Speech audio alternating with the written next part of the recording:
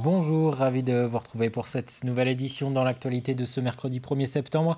Après plusieurs semaines de stagnation, la situation sanitaire s'améliore dans la région. Tous les indicateurs sont en baisse selon les derniers chiffres de l'ARS.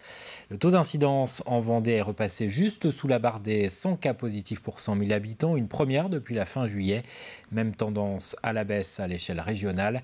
Les hospitalisations ont également amorcé une diminution. Il y a désormais 235 patients pris en charge en Pays de la Loire, dont 39 en Vendée, 8 sont en réanimation au CHD de La Roche-sur-Yon. C'est 3 de moins que la semaine dernière. Et c'est dans ce contexte sanitaire que se déroule à nouveau cette rentrée, début de l'année scolaire ce mercredi pour la plupart des professeurs, avant le retour en classe des élèves demain. Les syndicats d'enseignants appréhendent ce mois de septembre, peu convaincus, euh, disent-ils, par le protocole sanitaire en quatre niveaux établi par le ministère de l'Éducation nationale. On va retrouver tous les élèves euh, en présentiel, euh, avec évidemment des inquiétudes euh, en termes sanitaires hein, pour tous et tous, parce que c'est compliqué hein, dans l'établissement où effectivement on se retrouve à 35 par classe, à la cantine des vraies difficultés de mise en œuvre et un brassage globalement inéluctable d'élèves. On a l'impression qu'on est dans le flou. On a des niveaux, on, il n'y a aucun critère qui détermine à quel moment on change de niveau, mis à part la bonne volonté du, ministre Blanquer. Euh, oui, nous sommes très inquiets et d'ailleurs on appelle à ce titre-là d'ores et déjà à une grève le 23 septembre. Les propos recueillis par Pierre Dalissieu. Dans l'actualité également, bref, le décès de Léon Aimé, ancien député de la Vendée de 1993 à 1997. Il avait également été maire de Moutier-les-Mauffais et conseiller général pendant 20 ans. Léon Aimé avait 97 ans. Ses obsèques seront célébrées euh, ce jeudi. On ouvre une page économie à présent avec un focus sur le premier secteur d'activité du département, le tourisme. En ce début septembre, l'arrière-saison commence sur une dynamique plutôt favorable. La fréquentation dans les pays de la Loire a été jugée satisfaisante cet été d'après le résultat d'une étude publiée hier. Si les campings et les gîtes s'en sont bien sortis, les restaurateurs, eux, dressent un bilan plus mitigé. Les explications d'Alexia Chanet.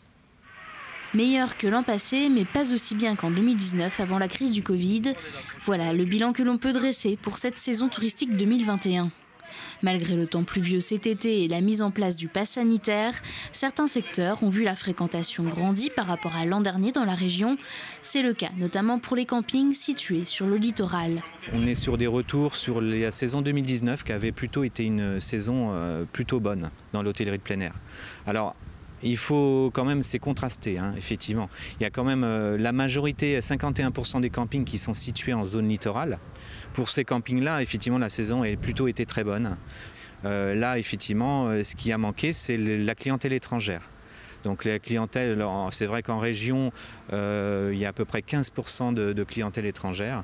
Et les Anglais représentent quand même 33% de ces, étrangers ils étaient totalement absents cette année.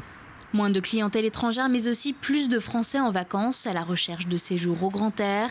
C'est le constat que fait également les de France qui connaissent cette année en Vendée une augmentation de 25% des demandes par rapport à 2020. Les gens, euh, le premier besoin qu'ils avaient dans le tourisme, c'était de se retrouver entre amis en famille et, dans la nature.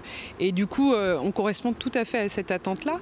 Donc, ils se sont retrouvés et ils avaient besoin d'être bien accueillis aussi, parce que certains avaient subi du chômage partiel, des problèmes, avaient perdu des proches ou euh, s'étaient sentis mal pendant ces confinements. Donc, du coup, ça a été vraiment un besoin aussi d'être bien accueillis, de, se sentir, euh, de se sentir bien.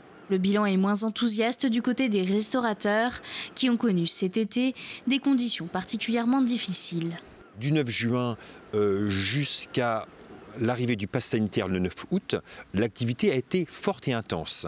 Depuis le 9 août, l'arrivée du pass sanitaire, eh bien, c'était la douche froide et les cafés et restaurants ont vu une forte baisse de leur fréquentation. Cela a l'air de s'atténuer maintenant, mais toutefois, euh, août est décevant par rapport à juillet.